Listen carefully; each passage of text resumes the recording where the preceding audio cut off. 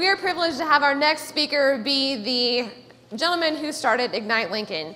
And Justin McDowell, um, he created this event out of a desire to bring, I love this, he says this all the time, to bring cool things to Lincoln.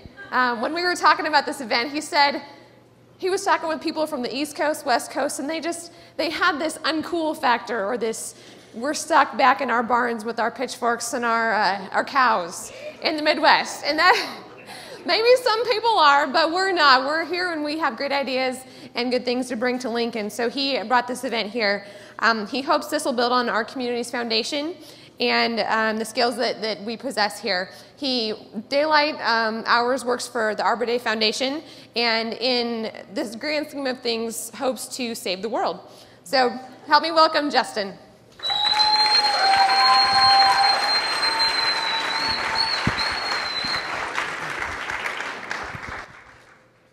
My name is Justin McDowell, and I too like to travel. This is a trip that I took earlier this month. I went up to Seattle and Portland. And uh, one thing I have to say about hotels is that they're really well engineered. Uh, every time I go into one, the, the hotel room is perfectly, you know, it's the perfect temperature. I lay down on the bed, sink in. I don't have a TV, so I turn the TV on, and hey, Mythbusters Marathon is on, so watch a couple, couple episodes of that. A couple hours later, I'm ready to go find something to eat. So if you're looking for something to eat in a new city, you can risk, you know, maybe going to someplace bad, but you can always find. I'm going a little fast, apparently. You can. I think it's stuck. There it is. Uh, you can always find that that burger. You can always find that cup of coffee. Everywhere you go, you know, the same the same shops are are still there. And uh, when you're ready to go out and see the sights, there's all the monuments. And I must have given myself 20 seconds. I'm cheating.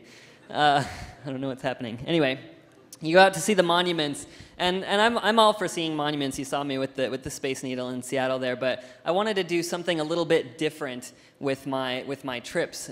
And so something like this, like jumping into a freezing cold river from a rope swing on a tree in uh, Fort Collins, Colorado, in my underwear.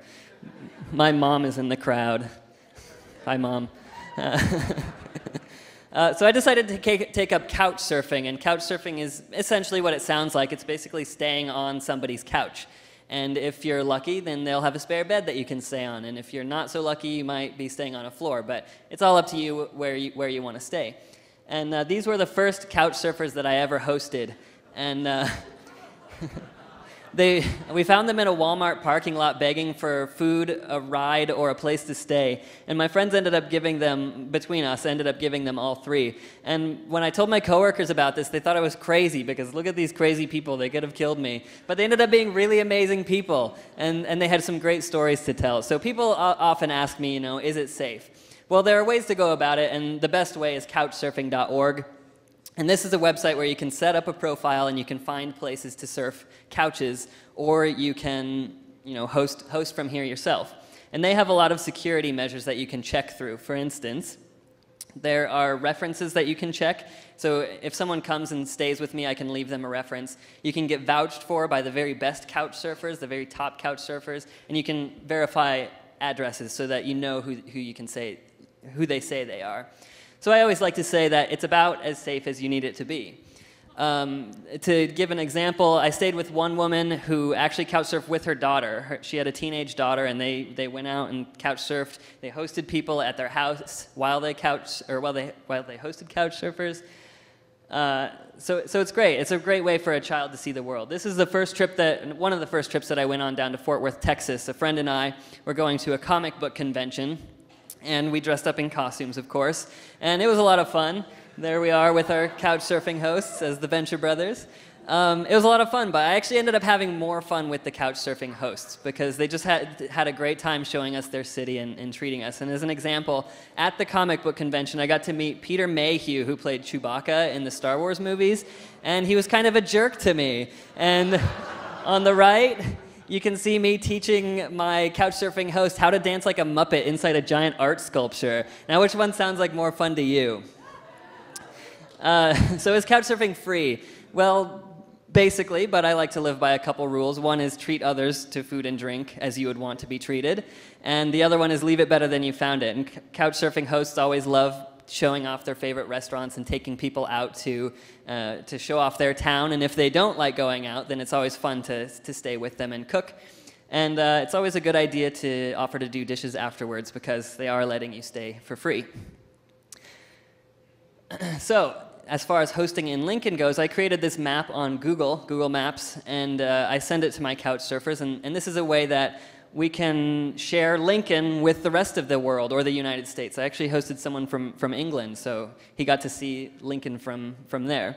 And if you have a particularly hard nut to crack, Magic Toast at the Highway Diner is wonderful. Everybody loves Magic Toast, and it's such a great feeling seeing someone figure out just exactly what it is.